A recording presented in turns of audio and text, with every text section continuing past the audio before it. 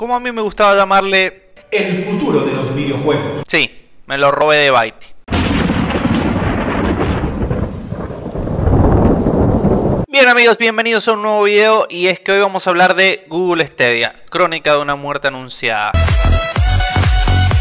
Bien, vamos a hablar de Google Stadia, este servicio revolucionario que traía Google para decirnos es el futuro de los videojuegos. Y sí, parecía el futuro de los videojuegos cuando lo anunciaron, pero vamos a hablar un poquito del lado del marketing porque si no saben, yo estudié marketing y puedo decirles qué tan bueno y qué tan malo es vender hype.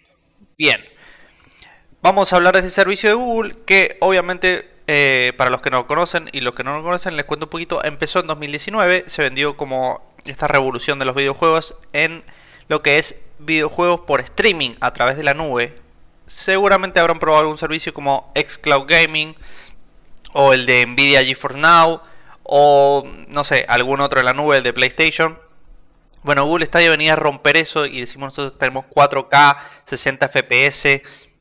Gracias a nuestros servidores de Google vamos a mover la maquinaria de Internet para que tengas cero input lag y una cuestión sumamente, no sé, asombrosa te vendían los muchachos. Pero no estaba tan pulido. Y acá hubieron dos cuestiones. Primero, no estaba tan pulido para el hype que vendieron. Segundo, Google no tiene tanta experiencia como otras compañías en videojuegos y la experiencia en un campo tan duro como lo es el ambiente de los videojuegos es clave. Sí. Porque Google tendría que haberse aliado mucho antes con alguna empresa que tuviera mucha pero mucha cancha en esto. Por ejemplo, Nvidia, ejemplo, AMD, por ejemplo, no sé, alguna empresa de videojuegos grande, Take Two. Eh, tendrían que haber optado por aliarse con gente un poco más grande. Creo que lo poco que hicieron fue unas colaboraciones con Ubisoft. Bueno, hay que elegir bien a los aliados, no vaya a ser que se te vaya a fadar un poquito. La cuestión es la siguiente. Eh, Google Stadia prometía esta revolución que no se cumplió.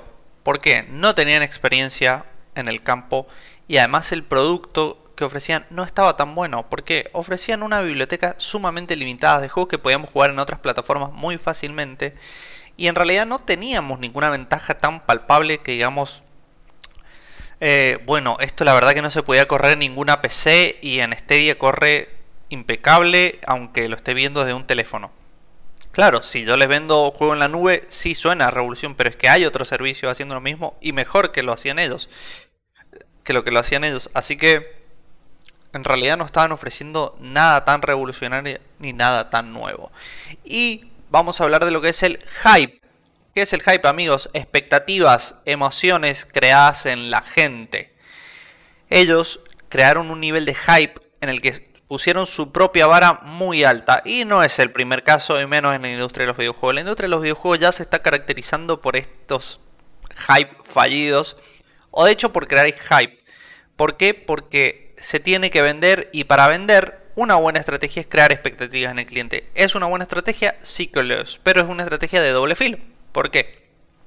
Si yo creo altas expectativas en la gente, esas expectativas tienden a crecer o a decrecer casi solas como la marea por cómo los percibe el público. Ahora, si el público las eleva, esto puede ser muy peligroso, porque si yo vendía algo de 7 puntos y mi público cree que va a ser de 8 o 9, la vara quedó en 8 o 9, porque es el público el que decía al final sobre un producto o un servicio. Si las expectativas bajan con el tiempo, lo cual está bueno, crear expectativas y que bajen un poquito con el tiempo, luego las recupero o las supero, caso exitoso. Pero cuando las expectativas yo las pongo muy altas y la gente las mantiene así altas o las sube, y suele pasar, tenemos casos como mis queridos amigos polacos, sí, con Cyberpunk 2077, que lo voy a decir, es un juegazo roto. Bien, hoy en día está mucho mejor y tiene su anime y todo lo que quieran, pruébenlo, es un gran juego, me encantó, pero salió roto cuando salió. Bien, como no olvidar a nuestros queridos amigos de No Man's Sky, uff, eso sí que fue casi una estafa, no sé cómo esos tipos no terminaron presos de hecho. Bueno, igual no quiero a nadie preso, los chabones arreglaron el juego, les tomó su tiempo y lo hicieron. Así que punto para ellos. Y bueno, obviamente nuestro querido Peter Molinex, que vendió humo durante 30 años más o menos en la industria de los videojuegos y lo va a seguir haciendo. Sí, es su naturaleza vender humos al querido Bellotas, como le dicen por ahí. Así que, bien, ¿qué tenemos que saber sobre el futuro de los videojuegos? Que se termina en marzo de 2023. Ya Google le soltó la mano a este proyecto. No van a seguir poniendo plata en algo que no es rentable. Y claro, esto es algo bueno y algo malo. Algo malo, se queda gente sin trabajo, eso nunca está bueno. Eh, son oportunidades canceladas. Bueno, esto se va a reciclar. Google, todo esto que creó en este tiempo con Google Stadia, menos de dos años van a ser creo, lo va a reciclar colaborando con otras empresas. Es decir, va a utilizar toda esta infraestructura para colaborar con otras empresas. Caso, cosa, caso, cosa, cosa, caso. Que debería haber hecho en primer lugar. Colabora con una gran empresa. Ya sé que querés ponerle tu nombre, Google. Te pones tu nombre a todo. Ok, Google. no te prendas. Le quieren poner su nombre a todo. Pero no hacía falta. Podían crear un producto novedoso colaborando con Nvidia, colaborando con AMD, colaborando con cualquier industria, con cualquier mm, eh, jefe de la industria que tuviese más experiencia que ellos. Y seguramente iban a hacer un mejor trabajo. Así que, bueno amigos, crónica de una muerte anunciada. Google Stadia dice chau y yo le digo, y se marchó. Y bueno, iba a pasar. ¿Nos ponemos tristes? No nos pongamos tristes. Mejor animémonos porque esto va a servir claro que tenía una buena infraestructura y va a servir para el futuro de los videojuegos. Perdón, Baiti, por 3. Chau, chau.